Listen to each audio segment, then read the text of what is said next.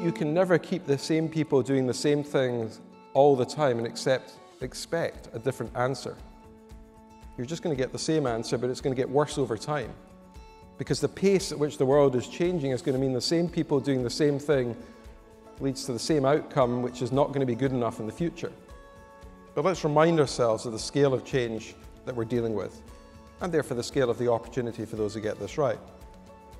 We know that our world is changing because of technology.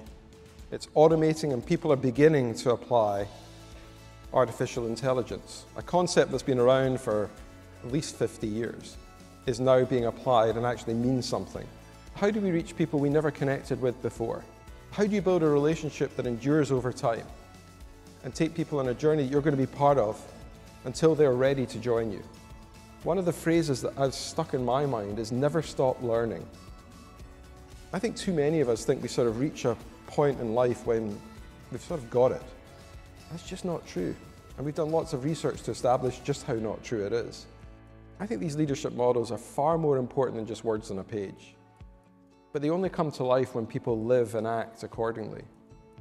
And so they have to be tied to the way you evaluate and celebrate people. What's your metric for success? And as you reflect on all of that, each of you will have a story that will make you feel that you're either a role model or in some way making a difference.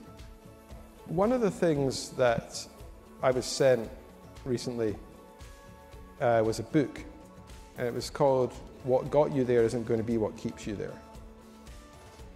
And I read the book, and I had two views about it. One view was it was spot on, because the world is changing and the roles that we're all playing are changing.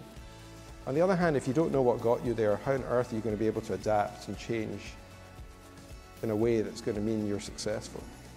So I think leaders dealing with transformation have to do two things.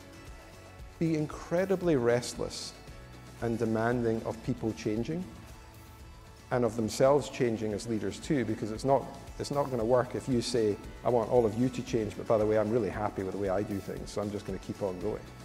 So you've got to show that you change too. But do it from a position of know yourself. Understand what it is that you bring that you want to keep. And I think you've got to start there because if you keep telling everybody just change everything, that's not going to work. But if you understand what it is your team is really good at, individually and collectively, and then what the changes that you want to be, you've got much more chance of success. So I think the first rule is know yourself. Know yourself and know your team and know the people really well and understand what they're great at.